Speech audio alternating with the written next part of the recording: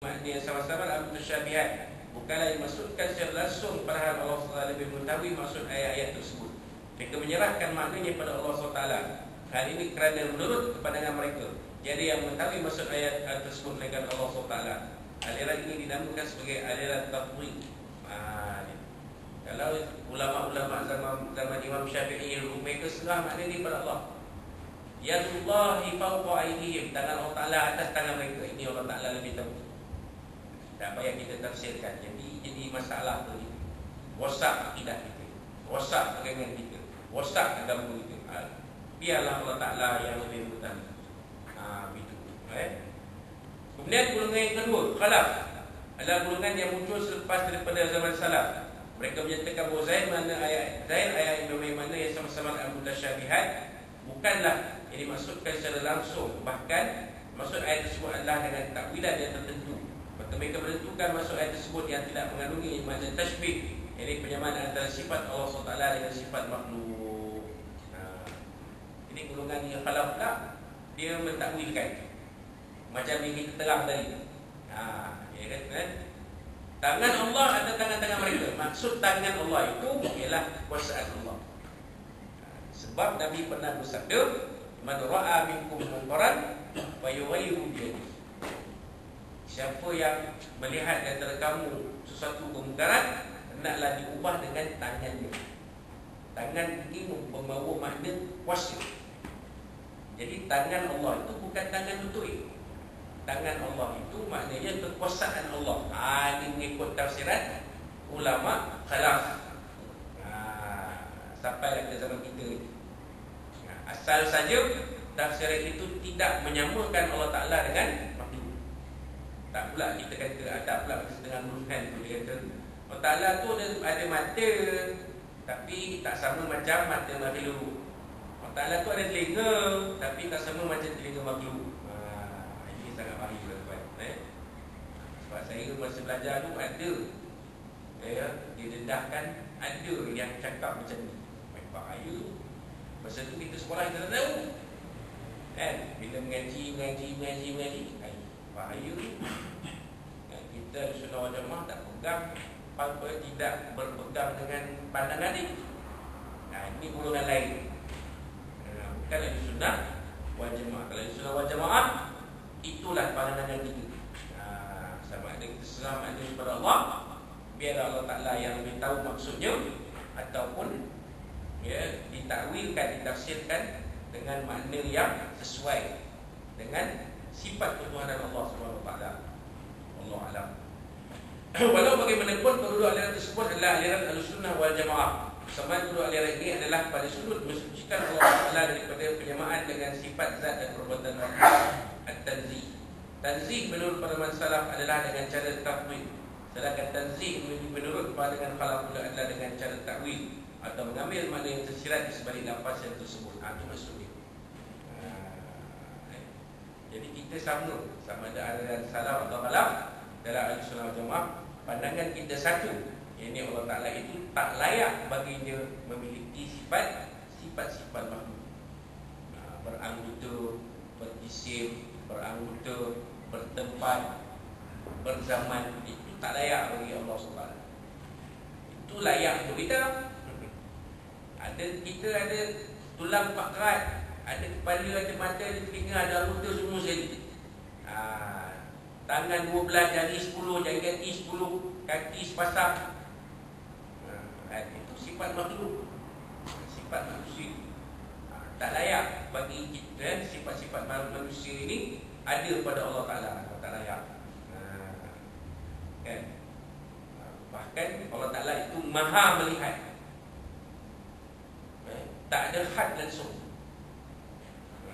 kita ni melihat ada had kita ada benda yang kita boleh tengok ada benda yang kita tidak boleh tengok memerlukan kepada bantuan. Ha, bulan ni planet-planet bintang yang jauh beribu kilometer macam mana kita nak tengok? Kalau tak ada teleskop. Kan? Ha, umat apa? Benda-benda halus. Zarah-zarah halus. Bakteria dan sebagainya. Macam mana kita nak tengok pakai mata tak nampak? Ya, Kita menggunakan mikroskop. Ada alat yang membantu. Tapi Allah Ta'ala tak perlu. Kerana Allah Ta'ala tu maha, maha melihat. Ha, eh. Eh. Jadi kita berpegang. Bila ada ayat-ayat yang sama-sama maksud ni, pegangan kita yang ni. Ha, ada perkara eh. Ha, sama ada nak serah pada Allah maknanya. Ataupun kalau ditakwil, yang sesuai dengan sifat ketuhanan Allah SWT. Ha, Allah Alam. Baik, apa kesimpulannya? Secara ringkasnya Allah SWT bukanlah objek, image, fizikal serta ciri-ciri dan sifat-sifat yang ada pada objek, image dan fizikal tersebut. Ah, jadi maksudnya. Ya, macam kita urai tadi, tak layak. Bagi Allah Ta'ala itu memiliki sifat-sifat makhluk. Ha, makhluk adalah objek makhluk ada image ada gambaran dia ha, kan? ada ciri fizikal dia macam kita cerita je lah tinggi, rendah, besar, kecil ya, itu sifat makhluk tak layak untuk Allah Ta'ala sifat-sifat tu ha, eh? Allah Ta'ala sama sekali bukan itu eh? jika didapati dalam Al-Quran atau dalam hadis lafaz yang mutasyabihat maka hendaklah menyerahkan maknanya kepada Allah SWT atau ditakwilkan sebagaimana dilakukan oleh ulama kalam seperti perkataan yadun ditakwilkan dengan kuasa al-wajhu ditakwilkan dengan zat dan sebagainya ha. kan itu maksudnya ha, ya kalau ada ayat-ayat sama-sama pendekatan kita hanya dua serahkan maknanya kepada Allah ataupun ditafsirkan dengan makna yang sesuai dengan keagungan zat Allah Subhanahu wa taala. Nah, macam yang diuraikan oleh uh, pengarang kitab ini. Eh, itu kesimpulan daripada sifat mukhalafatuhu lil lil hawadith. Itulah itulah kesimpulan yang kita dapat.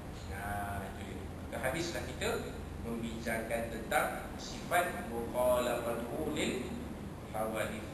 Insya-Allah pada bulan kita akan datang ya kita akan bincangkan fasal yang seterusnya yang keempat itu sifat Allah yang berikutnya itu qiyamu ta'ala binafsihi ha, tariknya ya, kalau ikut tarikh asal ialah pada uh, pada 6 ya, pada 6 April tapi atas sebab itu ya, saya pun ditangguhkan di bukan tarikh ke 13 April. Ha, iaitu uh, Sabtu minggu yang 12 April 2019 InsyaAllah kita akan bincangkan Pasal yang keempat Iaitu sifat Allah Ta'ala yang berikutnya Qiyamu Ta'ala Bidamsi InsyaAllah yang disini Allah SWT Kita akan bertemu pada Waktu yang disebutkan itu InsyaAllah. Jadi itulah dia sikit sebanyak Apa yang kita boleh kongsikan Yang pada pagi ini Mudah-mudahan Ya, menjadi pencerahan yang baik kepada kita dalam memahami ya ilmu tauhid Allah SWT dan memberi manfaat kepada kita dalam kehidupan kita. Yang mudah-mudahan kita diberkati oleh Allah SWT. Dan kehidupan kita bersama-sama yang kita akan bagi dunia sampai akhirat dan kalau ada apa-apa yang disampaikan dalam bulan yang dikasar rasa dan menjaga juga kesemuan Allah SWT dari Nabi SAW dan dari tuan-tuan dan Rasulullah Allah SWT dan terlebih dahulu ya, dan saya saya ucapkan kepada tuan-tuan selamat menyambut peristiwa Al-Isra' wal mihraj dan peristiwa Isra Mi'raj menunjukkan keagungan zat Allah Subhanahu wa taala dan ia ini peristiwa istimewa yang dikurniakan kepada Nabi Muhammad besar kita Sayyidina Muhammad sallallahu alaihi. Wallahu subhanahu wa ta'ala bikum aku lepas sallallahu alaihi wa sallam dan kita takutkan pada ini dengan tasbih al-Qur'an dan أعوذ بالله من الشيطان الرجيم بسم الله الرحمن الرحيم الحمد لله رب العالمين وبه نستعين والصلاة والسلام على أشرف الأنبياء وعلى محمد وعلى آله وصحبه اللهم ارحم من هذا وما تقدم بعد تقم الصلاة اللهم إنا نجد في نور أعدائنا ونعوذ بك من شرورهم اللهم برئ شملهم وفارق جمعهم وشتت ولا وزلزل أهلهم وسلم بكلابي يا قحار يا جبار يا الله يا الله يا الله اللهم يا مزل الكتاب يا مجل السماء والأحزاب اهزم وطنا بفضلك إلى سلام سيد الرحمن الرحيم. ربنا زلهم وطنا فما يا أكرم الأكرم ربنا أتنا في الدنيا حسنة وفي الآخرة حسنة وقنا عذاب النار. ربنا عليك توكلنا وإليك أنبنا بك المصير. ربنا قم إلى دعانا ومن ومسنا ولبنا ولقاءنا وصلى الله وسبحانه و